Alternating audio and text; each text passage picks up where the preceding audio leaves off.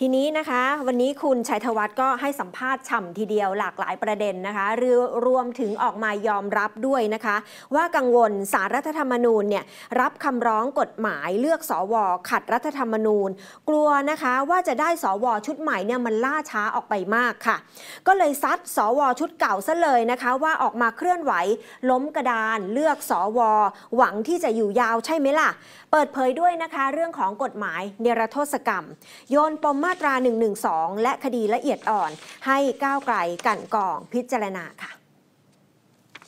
นายชัยธวัตุลาธนหัวหน้าพักก้าวไกลค่ะ กล่าวถึงการเลือกสอวอที่สารรัฐธรรมนูญ รับคำวินิจฉัยคำร้อง เกี่ยวกับพรบประกอบรัฐธรรมนูญว่าด้วยการได้มาซึ่งสวมองว่าการเลือกสวจะผ่านพ้นไปด้วยดีหรือไม่ ประเด็นนี้นายชัยธวัฒน์บอกว่ายอมรับนะคะว่ามีข้อกังวล เพราะดูเหมือนจะมีปัญหาตลอดรายทาง แล้วก็อาจจะเป็นช่องว่างด้วย ที่ทำให้เกิดการฟ้องร้อง ร้องเรียน จนกระทั่งทำให้การประกาศผลสวชุดใหม่เนี่ยเกิดขึ้นได้อย่างล่าช้า หรืออาจจะถูกล้มไปเลยหรือไม่ ซึ่งเป็นสิ่งที่สังคมเขาก็กังวลอยู่ แม้พักก้าวไกลจะไม่ได้เกี่ยวข้องโดยตรง แต่ก็จับตาดูอยู่ เพราะจะมีผลทำให้ไม่ได้สวชุดใหม่สักทีนะคะ เพราะรัฐธรรมนูญไม่ได้กำหนดชัดเจนว่า เมื่อมีกระบวนการเลือกสวแล้วกกตจะต้องรับรอง และประกาศรายชื่อสวชุดใหม่ ภายในกี่วันเหมือนกับสสเมื่อไม่มีการกำหนดที่ชัดเจน ก็หมายความว่า ถ้ากระบวนการมีการร้องเรียนเข้ามาแทรก จนทำให้กกตไม่สามารถประกาศรายชื่อได้ มันก็เท่ากับว่าสวชุดเดิมเนี่ยก็จะเป็นสวไปเรื่อยๆ ซึ่งไม่น่าจะดีมากนักค่ะ ถามว่าการที่ศาลรับเรื่องร้องเรียนดังกล่าวแล้ว กฎหมายลูกต้องแก้ไขกระบวนการเลือกสอวออาจจะต้องยาวนาน 1-2 ปี ซึ่งอาจทำให้ผลกระทบทางการเมืองเกิดขึ้นตามมานายชัยธวัฒน์บอกว่า ถ้ามีผลกระทบเนี่ยก็จะทำให้สวชุดเก่าทำหน้าที่ไปเรื่อย ๆ ค่ะ เป็นสิ่งที่สังคมไม่อยากเห็น ตนเองหวังว่ารัฐธรรมนูญจะไม่วินิจฉัยว่า พรปประกอบรัฐธรรมนูญว่าการได้มาซึ่งสว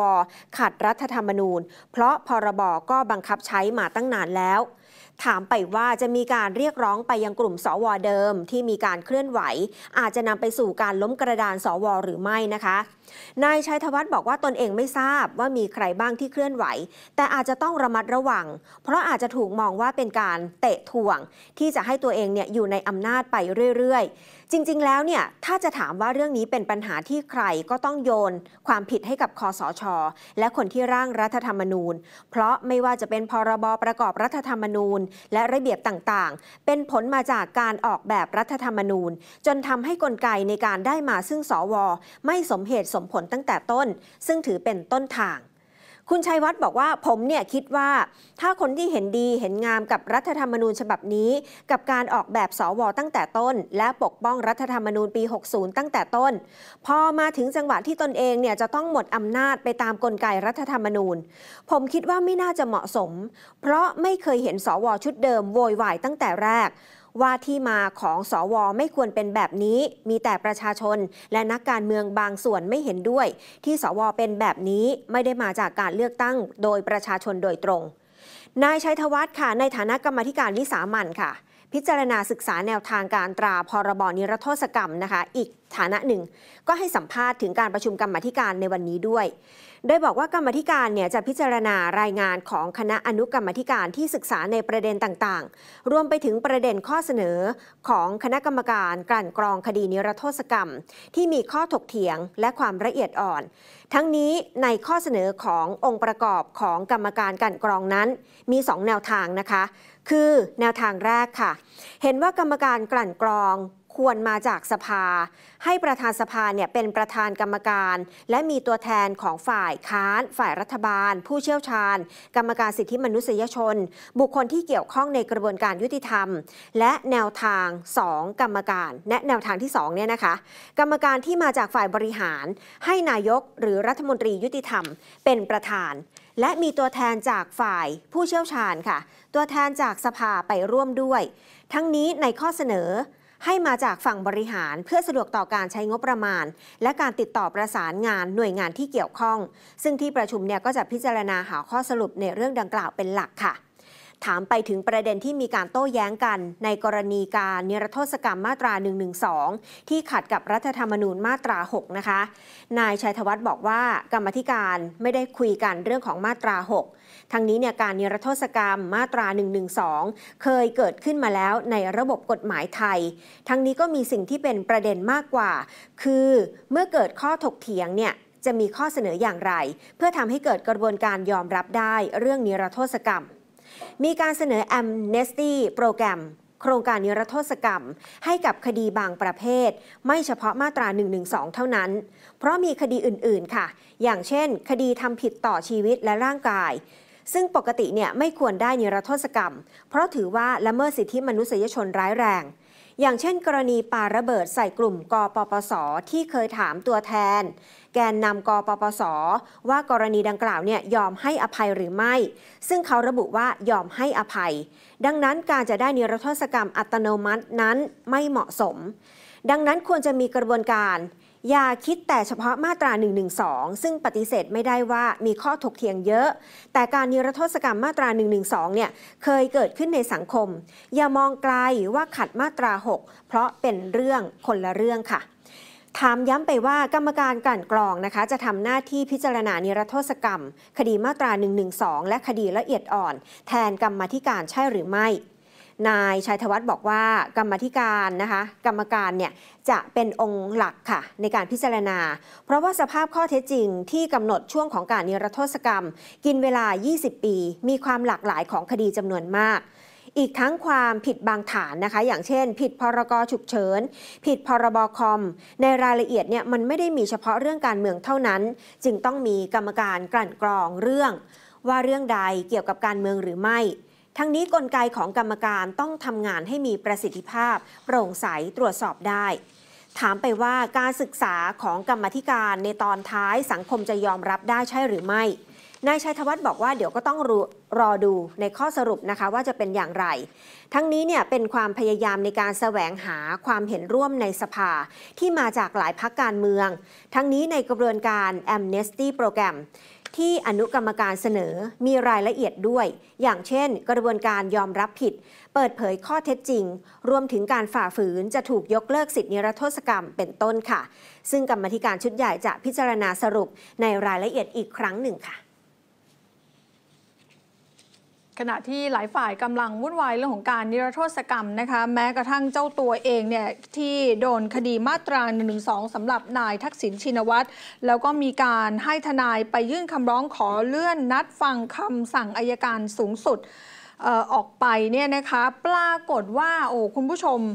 มันมีป้ายมีชาวประทุมเนี่ยนะคะเขาไปเห็นว่ามีการขึ้นป้ายงานบวชขนาดใหญ่สองป้าย ริมถนนนะคะรังสิตนครนายกบอกว่านายทักษิณอดีตนายกเนี่ยจะมาเป็นประธานงานเลี้ยงฉลองบวชนาค ซึ่งเป็นหลานชายของนายกเทศมนตรีตำบลธัญบุรีก็เลยทำให้หลายคนถึงกับสงสัยว่าเอ้า ไหนบอกว่าป่วยเป็นโควิด แล้วจะไปร่วมงานบวชเป็นประธานงานบวชเนี่ยนะ ไปดูเรื่องนี้กันเลยค่ะ เพราะว่าชาวประทุมเขายังมั่นอกมั่นใจนะคะว่า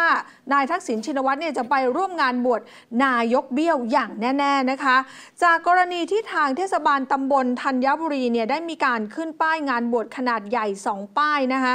ริมถนนรังสิตนครนายกบริเวณ 3 แยกคลอง 7 ในตำบลลำผักกูดอำเภอธัญบุรี จังหวัดปทุมธานีโดยมีนายทักษิณชินวัตรอดีตนายกเนี่ยมาเป็นประธานงานเลี้ยงฉลองบวชหลานชายนายกเทศมนตรีตำบลธัญบุรี หรือว่านายกเบี้ยวเนี่ยนะคะ ใจความในป้ายเนี่ยบอกว่า เชิญร่วมอนุโมทนาบุญอุปสมบท นายสมิทธิพัฒน์ในวงเล็บน้องพีทหลินว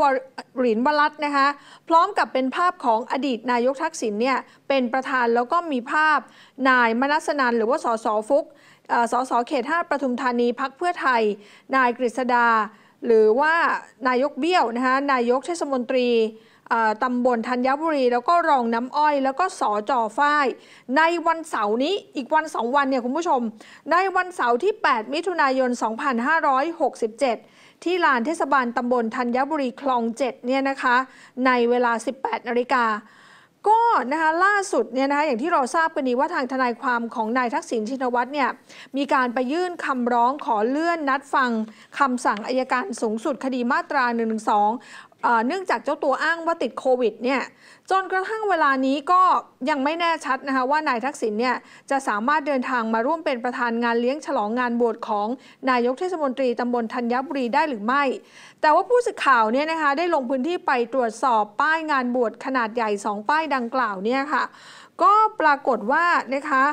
บรรดาเขาเรียกว่าชาวบ้านที่อยู่แถวนั้นเนี่ยนะคะเขาก็ยังยืนยันนะ เพราะว่ามันยังคงมีการขึ้นป้ายดังกล่าวอยู่ ซึ่งสำหรับบรรยากาศการจัดงานบวชนั้นก็มีการตกแต่งไฟ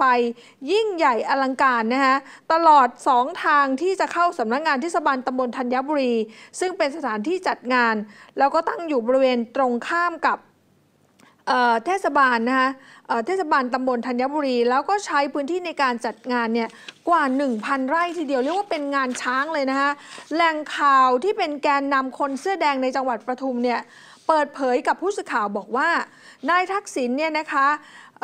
จะไม่เดินทางมาร่วมงานบวชหลานชายนายกเทศมนตรี ที่ธัญบุรีอย่างแน่นอนเนื่องจากว่าท่านป่วยด้วยอาการโควิดอยู่ แต่ ชาวบ้านเนี่ยเขายืนยันคุณผู้ชม ยืนยันเป็นเสียงเดียวกันนะคะ บอกว่าอดีตนายกทักษิณเนี่ยจะเดินทางมาร่วมงานอย่างแน่นอน เพราะว่านายมนัสนันหรือว่าสสฟลุคเขต 5 ปทุมธานีจากเพื่อไทยนั้น ได้แจ้งกับชาวบ้านคือ confirm แล้วว่า อดีตนายกนายทักษิณเนี่ยนะคะจะมาร่วมงานและเป็นประธานในพิธี อย่างแน่นอน เอ้าไหนว่าป่วย เออ ไหนว่าป่วยพี่แอน อันนี้ป่วยการเมืองหรือเปล่านะ